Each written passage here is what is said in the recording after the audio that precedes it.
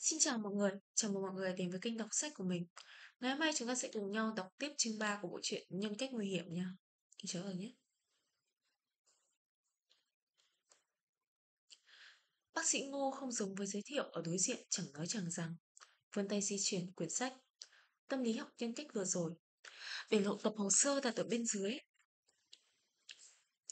Chỉ Thanh lần đầu tiên đến. Trên tập hồ sơ chỉ, chỉ có đắc vài câu. Những câu này là chút kết luận sơ bộ được rút ra thông qua buổi trò chuyện trực tuyến giữa bác sĩ với người tư vấn lúc hẹn lịch. Bác sĩ tâm lý điền vài chữ vô cùng thận trọng ở trong cột bệnh chứng vi khách này. Tính cách khá lạnh nhạt. Tính cách lạnh nhạt, không chỉ chuyện này. Cậu có bệnh ưa sạch sẽ, với lại từ lúc bước vào đến khi ngồi xuống đều là thái độ đề phòng. Cô tiếp khách có mèo, nhưng trên người cậu lại không dính lông mèo. Ngoại trừ ưa sạch sẽ, có lẽ cậu không thích gần gũi với thú cưng lắm. Ngón tay của người nọ mơn trớn trên tờ mơn trớn tờ giấy. Có lẽ vì gương mặt này nên động tác lật giấy của hắn trông có vẻ ngả ngớn. Chứng ước sạch sẽ của cậu đến mức độ nào? Chỉ thanh theo thói quen dựa vào vài vật chứng lạnh ngắt quan sát một người. Anh vốn nghi ngờ vị bác sĩ đối diện, theo lý mà nói, dù là phòng khám cao cấp thì bác sĩ trên phòng khám cũng không được mặc áo sơ mi xa xỉ như này. Nhưng đối phương vừa mở miệng lại xóa bỏ nghi ngờ của anh. Chí đanh, rất nghiêm trọng.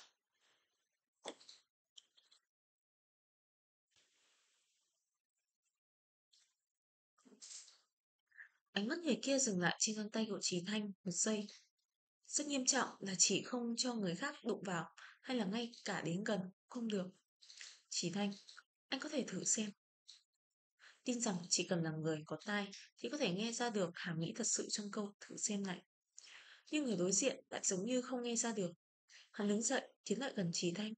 Sau khi đi qua bàn làm việc thì khoảng cách giữa hai người rút ngắn lại. Đến khi hắn đứng lên, Trí Thanh mới phát hiện thực ra hắn rất cao. Khoảng cách giữa bàn làm việc với Trí Thanh chỉ còn lại hai bước chân. Anh chưa kịp phản ứng thì sự quay xanh vừa rồi vô tình nhìn thấy nhanh chóng phóng to xuất hiện trước mặt Trí Thanh. Hõm xương quai xanh của hắn rất sâu, có một loại mờ ám xâm nhập từ trong xương. Được, để tôi thử xem. Để. Như đây là cách chữa trị. Chỉ Thanh cảm thấy chứng rối loạn cảm xúc của mình quả thực đã thuyên giảm ở một mức độ nhất định. Bởi vì bây giờ anh rất cáu. Chị Thanh buông đôi tay đang chồng lên để trên đùi. Người đối diện lại đoán được hành động của anh. Một tay hắn cố định cổ tay chị Thanh nói. Đừng kích động. Sau khi nói xong, ngón tay hắn chậm chậm rãi di chuyển lên trên, dọc theo cổ tay chị Thanh. Ngón tay để lên mép găng tay màu đen. Không nói một lời, muốn tháo chiếc găng này ra. Anh chỉ, tư vấn không phải làm như thế. Thả lỏng, nếu anh cứ đeo găng tay thì ngồi 3 tiếng đồng hồ trong vòng tư vấn. Vô dụng. Kệ, giờ ra sẽ sang chương 4 này. Chương 4, trống không. Chí Thanh đã rất, đã gặp rất nhiều bác sĩ tâm lý. Mới gặp đã động tay động chân như này. Thì đây là lần đầu tiên, thì đây là người đầu tiên. Con tay màu đen bị người đàn ông cầm trong tay. Rõ ràng chỉ là một động tác rất đơn giản, nhưng cũng thật sự chẳng có ý nào khác. Nhưng hắn lại làm nó trông chẳng đứng đắn chút nào.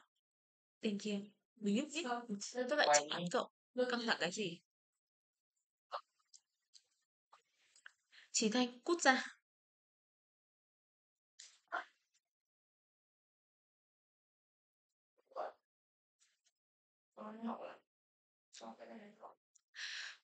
Tên kia, cậu tiếp tục thế này thì khi nào mới trị khỏi bệnh ưa sạch sẽ? Đến phòng khám chữa trị, trước hết thái độ phải đàng hoàng. Nghĩ trước đi. Chí Thanh. Căng tay bị đối phương cởi đến chỗ khớp ngón tay. Đôi tay này ít khi nhìn thấy ánh mặt trời, lộ ra một màu trắng gần như bị bệnh.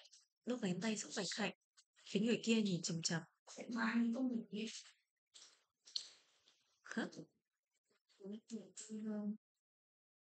Đấy là sao lại đào vàng nữa rồi? Ok, vậy là mình đã đọc xong phần chuyện này rồi nha mọi người. Cảm ơn mọi người đã theo dõi video này của mình. Còn bây giờ thì xin chào và hẹn gặp lại mọi người ở những video tiếp theo nha. Bye mọi người. Quay rồi.